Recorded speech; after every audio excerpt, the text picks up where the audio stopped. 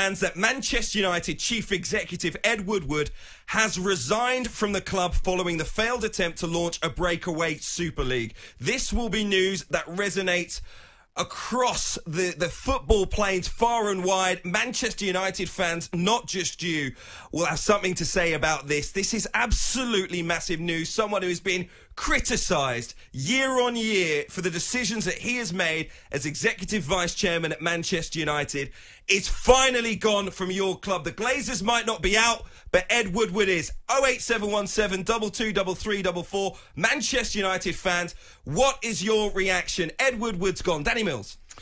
I mean, Manchester United fans, we want to hear from you. I mean, I know a lot of them personally will be thinking, you know, yes, okay, the Super League was a disaster, but this is a little bit of a silver lining because I think a lot of people have wanted him out for a very, very long time at Manchester United. If I'm meant to be impartial, I don't know. I want to do an Alan Shearer right now, Euro 96 style, wheeling away to the crowd, arm in the air. To, the... to, to, be fair, you did do three, three, three roly polies around the studio.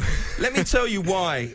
Ed Woodward has been disconnected from the fans at Manchester United for the entire time that he has been in control as executive vice chairman there. He came into the club after, of course, massive changes, David Gill leaving, Alex Ferguson leaving, and he has overseen what has been at times a shambolic period in Manchester United history. Not just in terms of signing players, but as I say, that connection, that real connection with the fans. He has been the Glazers man throughout. He's taken home £4 million a year, and he's done absolutely nothing, in my opinion, for this club other than sign shirt deals and bring in money. Manchester United fans have deserved better the entire time. I, I truly believe that they've deserved better decisions from Ed Woodward and those at the, in the hierarchy of the club. They've deserved better communication. Results are one thing, but I think Manchester United have not been run like a club at the top table for the years that he has been at, in terms of his time as executive vice chairman best in class is what Manchester United need, and I, am not afraid to say he has not been that.